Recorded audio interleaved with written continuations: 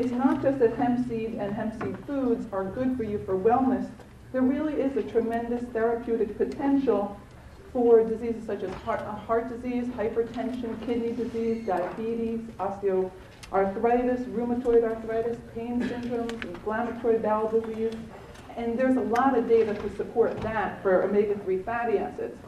And it's not just the omega-3 fatty acids that make hemp uh, unique. There's a whole, really, array of macronutrients, micronutrients, trace compounds, and phytochemicals.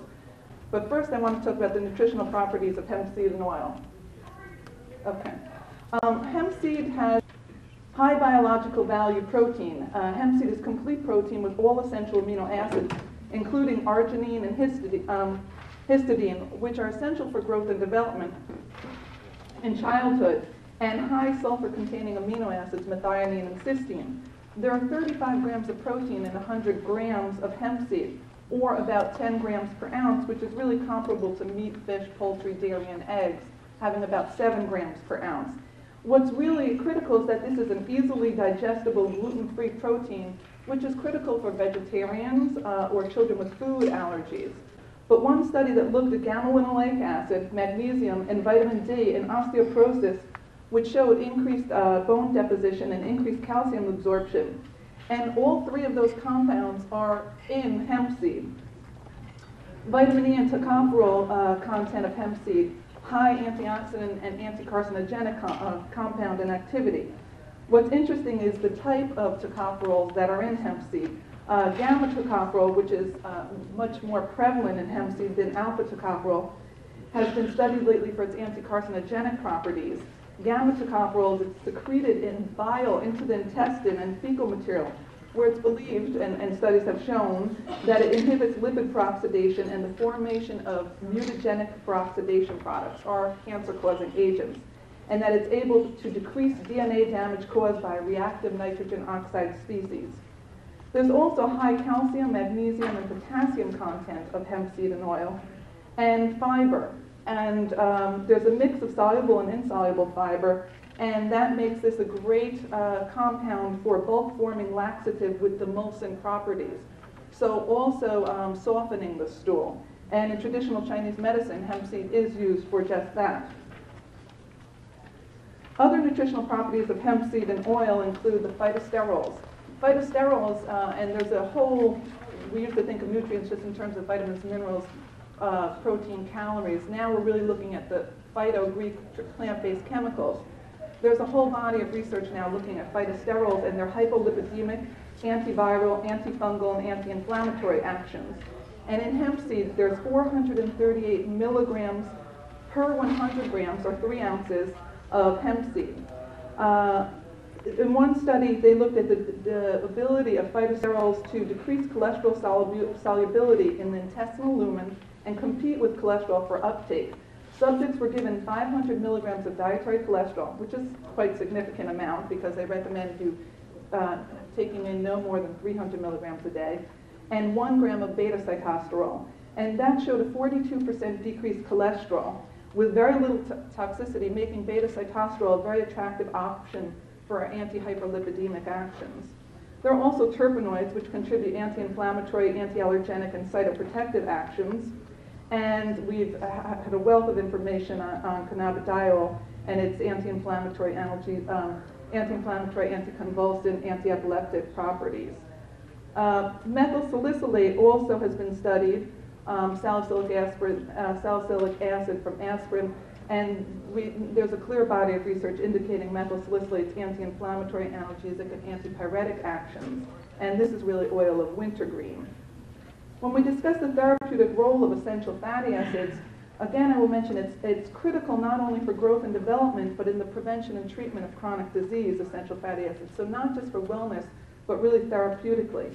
Essential fatty acids have been neglected for many years, and only research, recently has research shifted to recognize their essential role in human health with regards to the ratio of polyunsaturated to saturated fatty acid.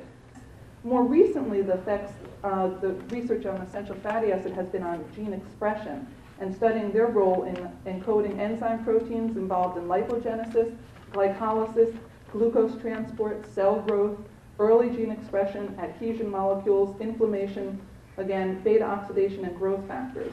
Primary sources of essential fatty acids, uh, linoleic acid and alpha linoleic acid, are plants. Plants, plants on land and sea. And of all the conflicting information out there about nutrition that we hear every day, fiber is good for breast cancer, it's not good for breast cancer, beta carotene is good for preventing lung cancer, it's bad for lung cancer if you happen, you know, to smoke for 30 years. Of all the conflicting sources of information out there, the one consensus in the research community is that increasing your intake of plant-based foods is protective in reducing the risk of cancer, heart disease, hypertension, osteoporosis, all chronic degenerative diseases across the board.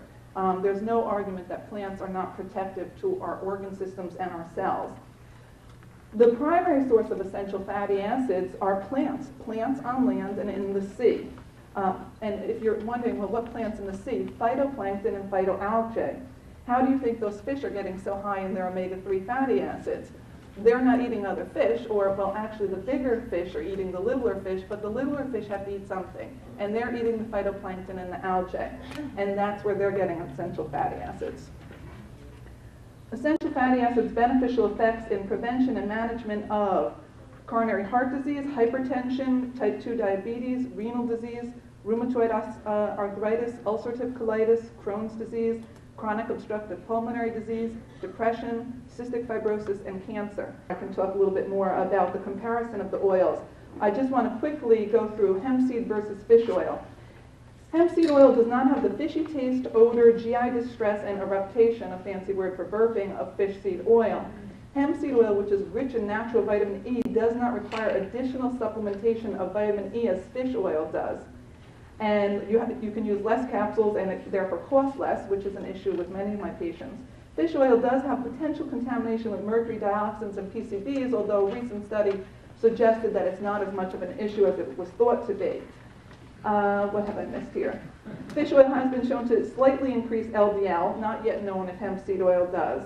And fish oil greater than 3 grams a day has been seen to show some adverse effects on immunity and that it may suppress T and, um, T and B cell function and decrease the production of cytokines. So really, it's critical to look at uh, the dose-response effect in the studies.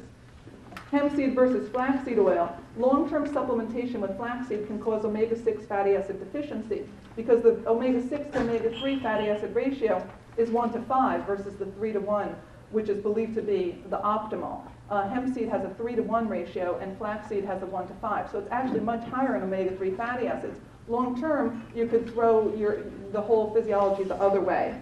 And I'm just about finished here. I have two more slides. Flaxseed oil, um, it's very controversial. The, the phytoestrogen activity, it's controversial in conditions of estrogen dominance, estrogen receptor positive breast cancer, uterine cancer, ovarian cancer, endometriosis, and uterine fibroids. Hemp seed versus soy, Hemp seed is rarely allergenic versus soy's highly allergenic profile. Hemp seed is free of the trypsin inhibitors that impair protein absorption present in soy. And hemp seed is free of the oligosaccharides that cause GI distress and flatulence, a fancy name for gas, present in soy. I would like to see some studies done with whole foods, like some of the flaxseed studies done using uh, flaxseed flour in muffins, versus just the isolated oil. A lot of people have discussed, you know, the idea of synergy, there being other compounds in the plant. We just don't want to look at the fatty acids. We'd like to look at the whole, um, the whole profile. And I, I think that, um, oh, I did want to comment on the THC uh, content of foods. This is a political issue, but this is not in any way unique to issues affecting the safety of our food supply. I think there very little, there's no known toxicity issues. Uh, I don't, uh, there's been no known um, psychoactivity from THC in foods. I think the issue of THC in foodstuffs is mainly political. I would take the THC in foods any day over the pesticides on fruits and vegetables, on the mercury in my food. So I really encourage you to become activists about the, the safety of your food supply and, and also to think critically that there are naturally occurring toxins in food too, um, in plants that are part of the plant's defense mechanism and many times help us. So uh, I thank you for your time and I thank you for the invitation.